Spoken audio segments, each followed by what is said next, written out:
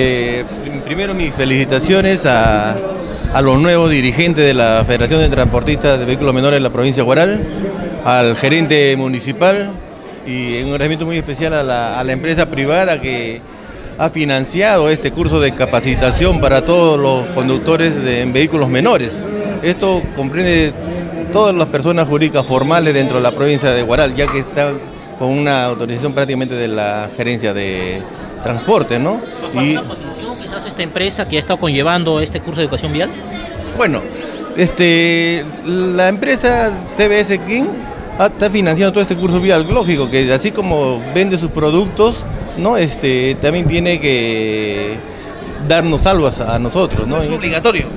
Bueno, el, claro, ahorita en sí el curso de capacitación que debe tener todo transportista en vehículo menor, según las normas, es en forma obligatoria que se deba una vez al año. Pero la, la, la de la licencia no necesariamente con la empresa. No, no, no, no es necesario con la empresa, cada uno es libre donde, donde sacar su certificado médico para la licencia. Los que desean sacar su licencia por intermedio de esta empresa, que ha financiado, que le digo, un costo mucho menor que está dando en forma normal la municipalidad, creo que... Este curso? El curso prácticamente está gratuito, vamos a tener nuestra acreditación como haber recibido este curso de capacitación. ¿Cuál es su parecer? Hay creo otro grupo de mototaxistas que no están asistiendo. En este caso hablamos del señor Carlos Colonia y Santos Espinosa. Bueno, cada uno es libre de pensar lo que quiera. No creo que si anteriormente se daba un curso que querían, creo los señores querían que daba un curso que costaba creo 14, 15 soles, iba a ser afectado el bolsillo de los mototaxistas. Y este curso tiene la misma validez, ¿no? que viene darlo financiado por esta empresa que al, al, vehículo, al propietario del vehículo menor es completamente gratis. ¿no? Entonces yo no veo cuál es su disconformidad por parte de los señores. Yo me, diría bien que ellos deben aprovechar esta, este curso que se está dando en forma gratuita, ¿no? ya que no va a salir nada de los bolsillos de los, los compañeros mototaxistas.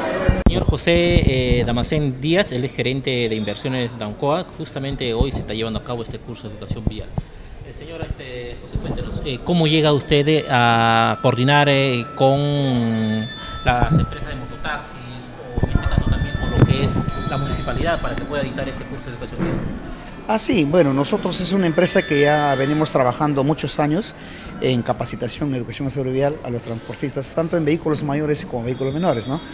Tenemos la suerte de estar acá en la provincia de Guaral, ¿no? educando a los conductores en vehículos menores. ¿Para solicitud de quién usted dirige en este curso de educación vial? A solicitud de los dirigentes, ¿no? de los mototaxistas que han pedido ¿no? que la empresa Dancoa, como tiene sus expositores, ¿no?